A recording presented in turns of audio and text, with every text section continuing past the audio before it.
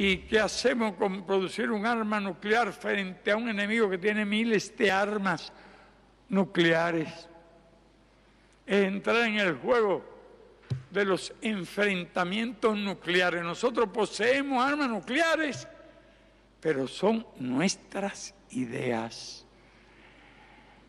Nosotros poseemos, poseemos armas nucleares, pero es la magnitud de la justicia por la cual luchamos.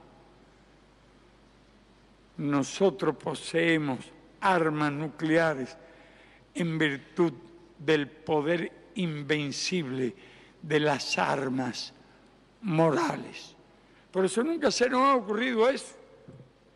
Ni se nos ha ocurrido buscar armas biológicas. ¿Para qué armas? Para combatir la muerte para combatir el SIDA, para combatir las enfermedades, para combatir el cáncer.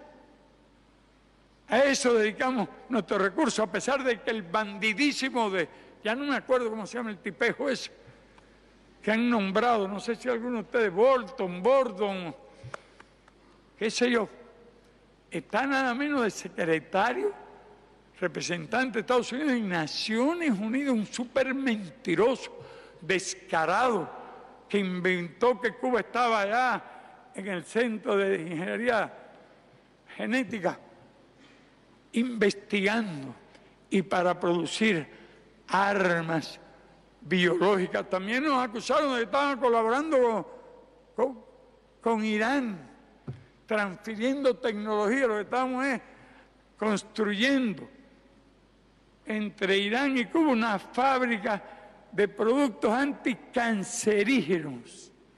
Eso lo estamos haciendo, también lo quieren prohibir. Váyanse para el demonio, para donde quieran irse, idiotas, que aquí no van a asustar a nadie.